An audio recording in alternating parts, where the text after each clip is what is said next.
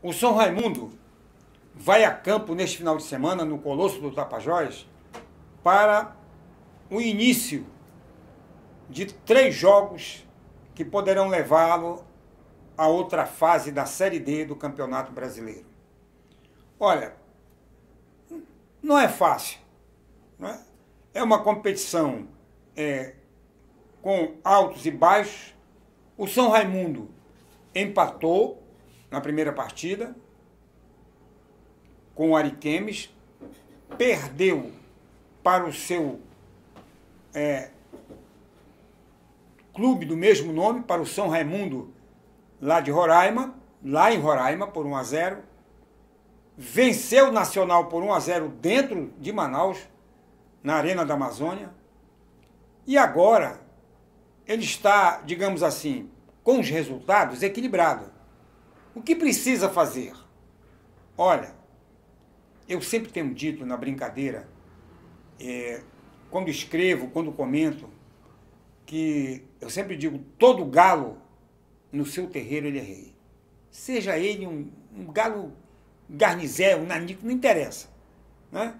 Porque se o time que quer chegar a algum lugar não vencer dentro da sua casa, as esperanças de vencer na casa do adversário são mais complicadas. Caso como aconteceu domingo passado, quando o São Raimundo venceu dentro da Arena da Amazônia, não acontece todo dia. Portanto, cabe ao São Raimundo que tem dois jogos em casa, agora domingo contra o Nacional. Aí é jogar para vencer. Tá? Vai ter o apoio da torcida, joga no seu campo, que é acostumado a jogar, o Colosso, e tem tudo para uma grande vitória e depois pega o time que lhe derrotou, ou seja, o outro São Raimundo. De novo, jogando em casa. Ora, acompanhe meu raciocínio. O São Raimundo no momento tem quatro pontos. Vencendo o Nacional, domingo agora, e vencendo no outro domingo o São Raimundo, ele vai a 10 pontos. Ele praticamente carimba a sua classificação, na pior das hipóteses, como segundo lugar melhor índice técnico, na pior das hipóteses. Porque 10 pontos vai ser difícil a turma que está correndo chegar. Pois, a não ser que, como eu digo, São Raimundo perca dois jogos, vai ser uma catástrofe. Mas São Raimundo vencendo os dois jogos, que é o que se espera dentro de casa, ele vai a 10 pontos. E aí o que vai acontecer?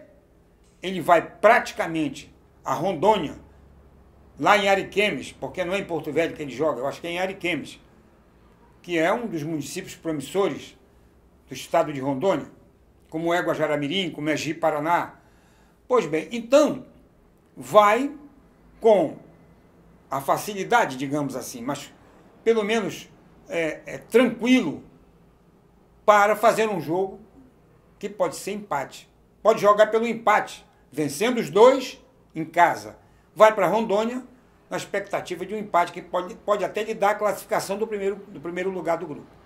Portanto, gente, é importante. Este jogo contra o Nacional é hora do torcedor.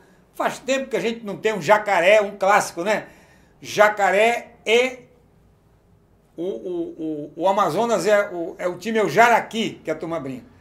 E nós somos o jacaré. Naquela época, jacaré e jaraqui pegava fogo.